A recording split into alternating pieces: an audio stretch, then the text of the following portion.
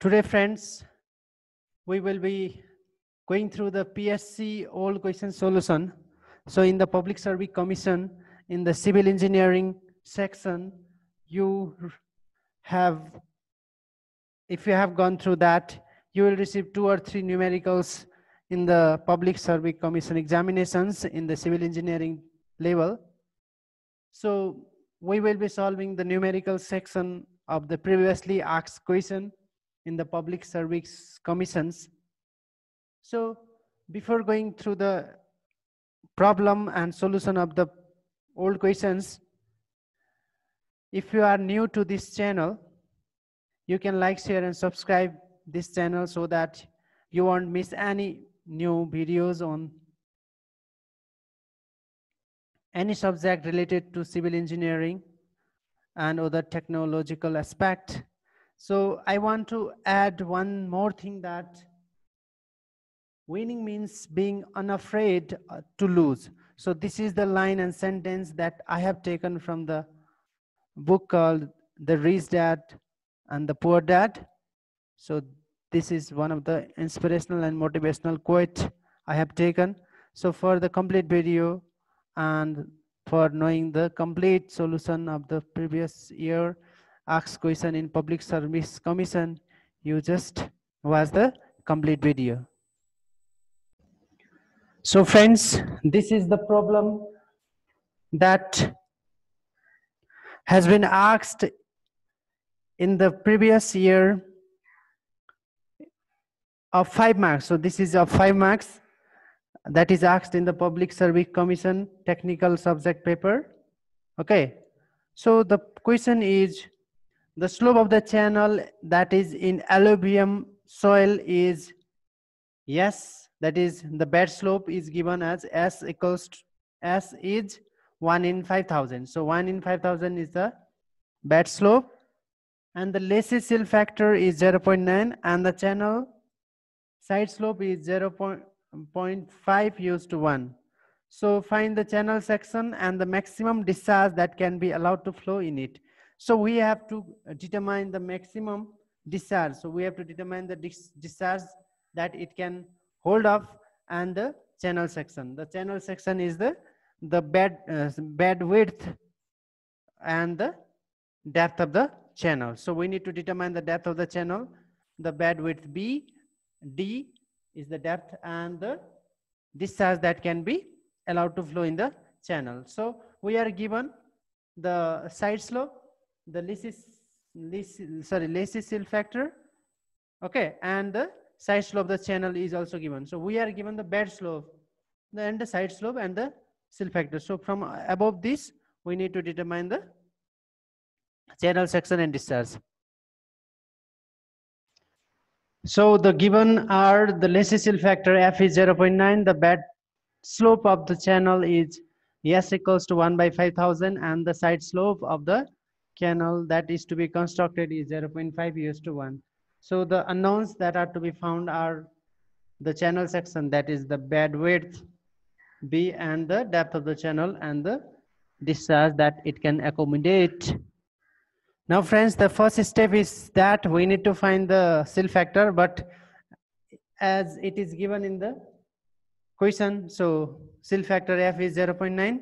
Second step, we need to determine the velocity so velocity v equals to q f square by 140 power 1 by 6. Here q is unknown. So at first our aim is to find the q. So using the Lacey's derived equations, we can find the discharge that can the channel can accommodate. Okay. So we need to find first discharge here. Okay. So friends, the discharge can be find out by using the Lacey derived expression using the relation between the side sorry bed slope and the silt factor and the discharge relationship so we have s equals to 1 by 3340 f to the power 5 by 3 q to the power divided by q to the power 1 by 6 so if you solve this you can easily find out discharge uh, comes out to be 3.925 cumec. So this is the discharge that is flowing through the channel. Now friends, if you use the velocity formula V equals to K up square by 140 to the power 1 by 6, you can easily find out the velocity. So the velocity in this case comes out to be 0.532 cube, sorry, meter per second.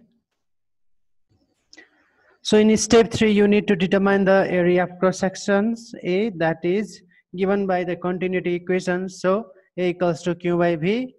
So if you solve this, area will become come out to be 7.377 square meters. Now friends, in step four, we need to determine the weighted parameter. So for the determination of weighted parameter, we can use the formula P equals to 4.75 root Q. So if you substitute the value of Q as 3.925, you can find out that the parameter that is weighted parameter com comes out to be 9.41 meters.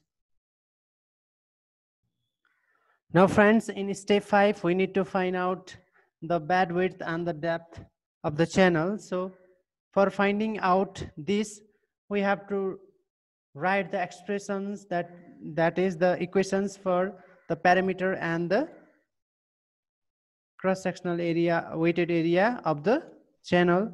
So we have the parameter formula for the trapezoidal channel. So here we have taken the trapezoidal cross-section of the channel. So the parameter is given by b plus 2d root square root of 1 plus z square. So if you, so here z is given as 0 0.5. So if you just substitute and simplify it, you will obtain the value of bed width as 9.41 minus 2.236d. So here d is unknown. We need to solve uh, the expression for d. Now friends, we have area A equals to BD plus ZD square in the trapezoidal sections. So if you substitute the value of B as obtained in the previous expression, then you can find the quadratic equation. 1.736 d square minus 9.41 d plus 7.377 equals to 0 this is the quadratic equation that has two values. Okay. So if you solve this we will obtain d1 as 4.47 meter and d2 as 0.95 meter. So these we have obtained the two depths of the channel. So we will make the so the bed width will also come out to be 2 okay so we'll just know what are the possible cases. Now friends, we have substituted the two values of the depth of the channel that we have obtained from the quadratic expression. And if we substitute that in first case, d equals to 4.47, the bed width comes out to be negative 0.58. So the bed width cannot be negative, isn't it? So width cannot be negative. So the first depth 4.47 is not possible in our case.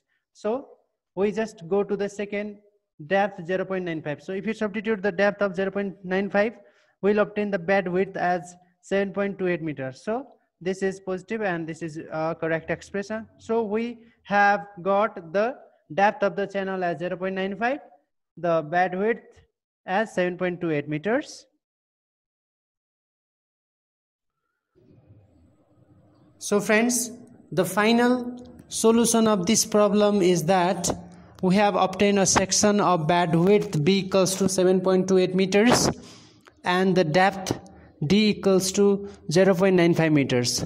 Likewise, the discharge that is flowing through the channel that is the maximum discharge that can be allowable for flowing is 3.925 cubic that is cubic meter per second and the bed slope is the given in the question as 1 in 5000 likewise the side slope is 0.5 used to 1 so as shown in the figure above is the channel having the required parameters. So friends if you find this video as useful you can like and share to your friends. And for such videos, stay tuned to this channel. Thank you. We will meet soon in another video.